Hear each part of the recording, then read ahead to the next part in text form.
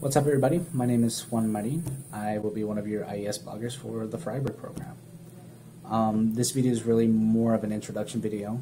I wanted to give y'all a, um, a little bit of background on me, um, kind of give you guys a, uh, give y'all a little background on you know who I am, where I'm from, you know, and kind of give y'all the reason why I chose Freiburg and why I chose German in general. So yeah, I guess we can just get started with that.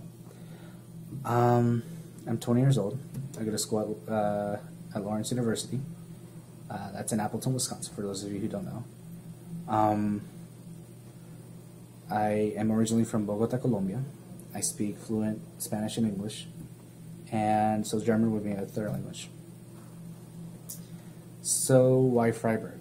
I chose Freiburg because of its beautiful scenic backgrounds, its historical value, and mainly because not everybody goes to Freiburg for a, German study abroad program.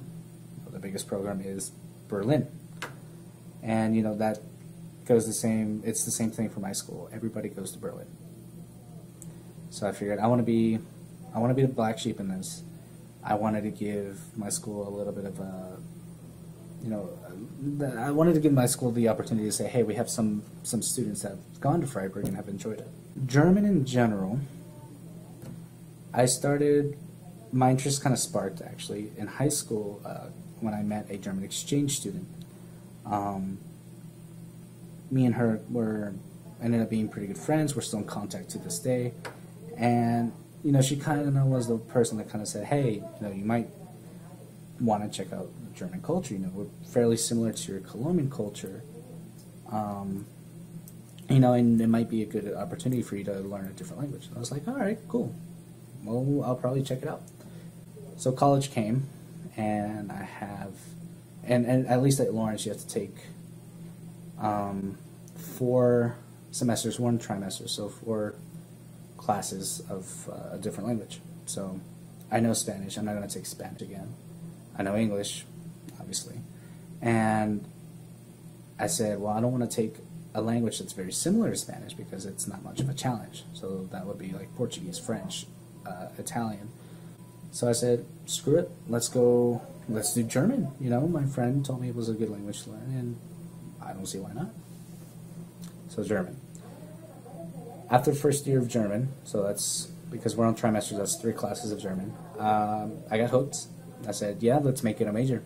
Why not? So it's one of my majors. Uh, my other major is film studies, so they kind of go hand in hand eventually. And yeah, so that's why I chose German. Um, it was because of, a, of a, a, study abroad program that I actually you know, got hooked with German. So I'm thankful for that, and I, I said the first opportunity that I would be able to study abroad, I'm going to go to Germany and check it out. Know? Maybe I can influence somebody to go to the United States or to Colombia. Really.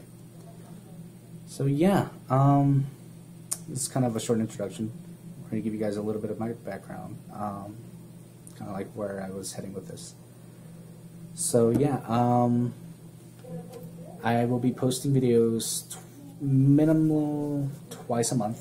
Um, so this doesn't count. This is more of an introduction video. Um, so y'all could you know, see who I was, see if you wanted to follow my blog.